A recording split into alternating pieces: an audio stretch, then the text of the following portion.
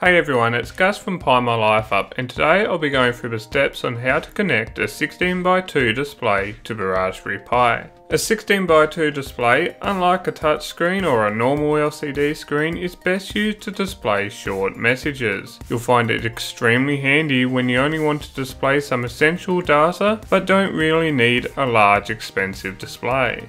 This tutorial will go through all the basics to getting the screen set up. It is incredibly handy for anyone who is completely new to electronics. The pot, or also known as a potentiometer, is pretty important for controlling the screen contrast. If you do not have one, then you can try swapping this out for a resistor. I would try using something higher than 5k ohms. A typical 16x2 LCD display has 16 pins, but not all of them need to be used. Since there are 16 pins, you'll find that the display will be most likely using a HD 44780 controller.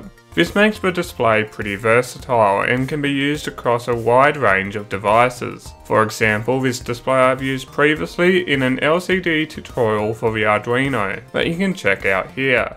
You will find that most 16x2 displays do not come with a header pins pre-installed. This means you'll need to solder some header pins on. This is a pretty straightforward task and should only take a few minutes for anyone who has soldered before. Place the header pins through the holes of the display. The short side of the header pins should stick up. Now using a hot soldering iron and some solder, slowly solder each of the pins. Once you're done, it's now ready to use. Now to just quickly go through the equipment that you will need, a 16x2 LCD with header pins, a 10k ohm potentiometer, breadboard, breadboard wire, you can use a breakout kit if you want, and of course a Raspberry Pi. So to begin, first place a wire from a 5 volt pin, pin 2, to the positive rail on the breadboard. Now place a wire from the ground pin, or pin 6, to the ground rail on the breadboard.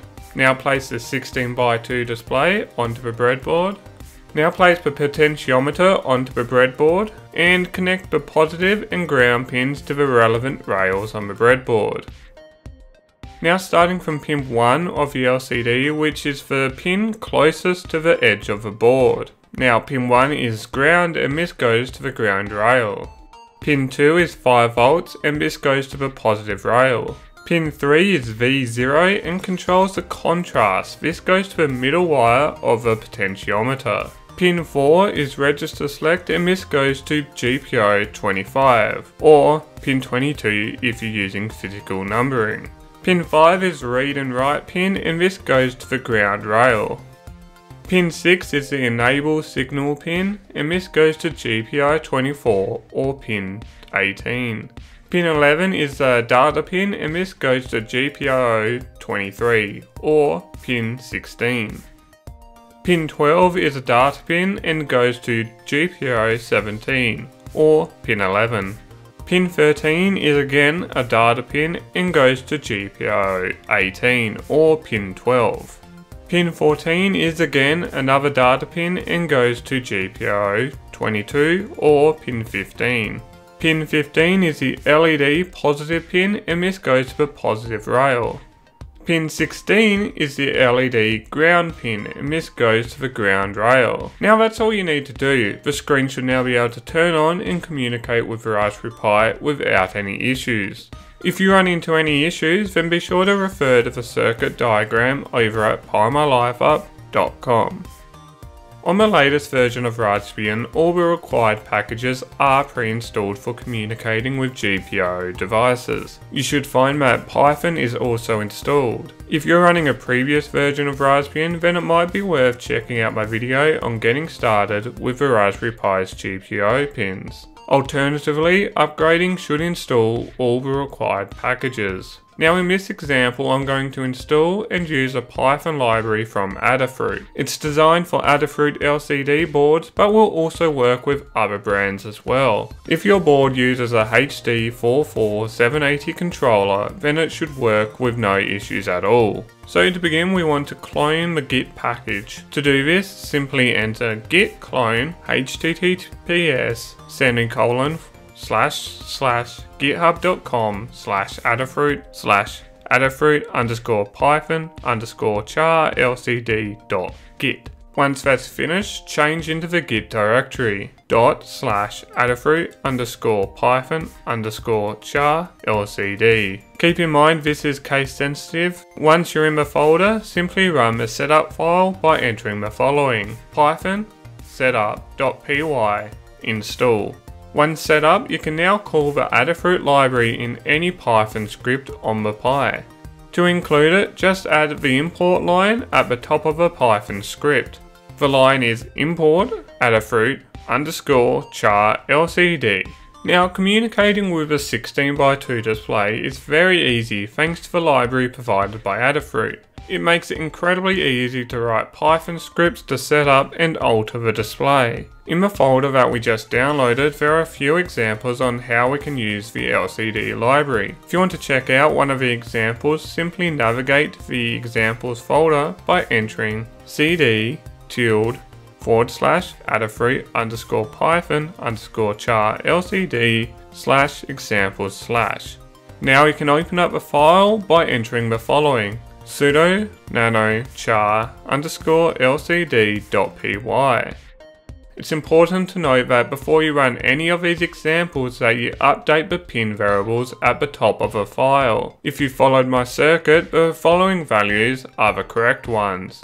LCD underscore RS is 25, LCD underscore EN is 24, LCD underscore D4 is 23, LCD underscore D5 is 17, LCD underscore D6 is 18, LCD underscore D7 is 22, and LCD underscore backlight is 4. To initialize the LCD board, you'll need to create the class object. Make sure all the variables that are being passed as parameters are defined before calling the class. It's important to also make sure you both have LCD columns and LCD rows also defined before calling this class. For most displays this is simply 16 columns and 2 rows.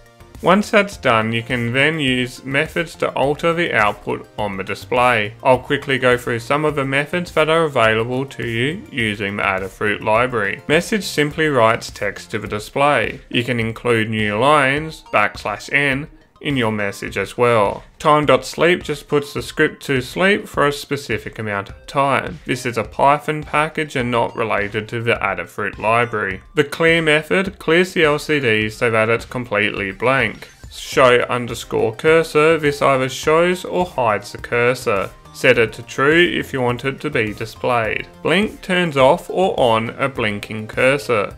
Again, set this to true if you want it to be blinking.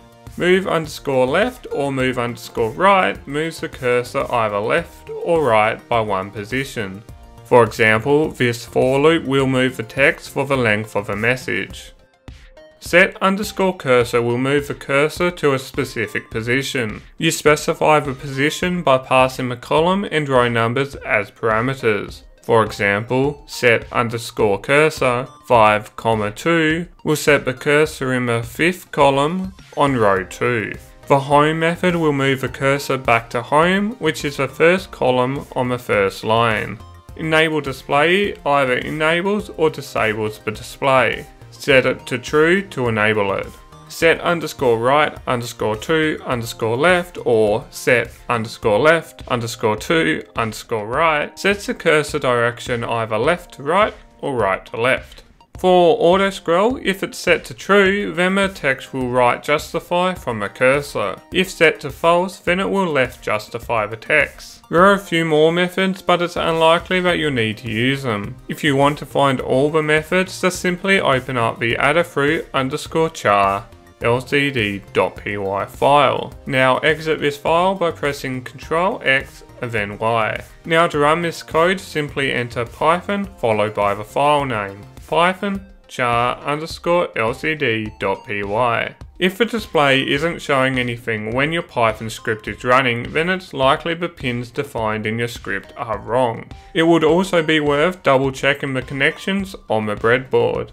This tutorial just covers the basics of setting up the 16x2 LCD display correctly with Raspberry Pi. There is so much more you're able to do with this. For example, you can have a script launch on boot up that can display certain values such as uh, IP address, time, and so much more. There is also a huge range of cool sensors that you should try incorporating with this display. Something like the DS18B20 temperature sensor would work great with the display. Simply update the display every few seconds with the new temperature. I hope this tutorial has helped you with connecting the 16x2 display to the Raspberry Pi. If you do notice a mistake, come across an issue, or I got anything wrong, or you just want to leave some feedback, then please don't hesitate to leave a comment below or over at PiMyLifeUp.com. Until next time, have a good one. Looking for more Pi projects to do? Check out these 21 awesome Pi projects that anyone can do. Don't forget to subscribe so you can stay up to date with the latest and greatest projects, guides and much more.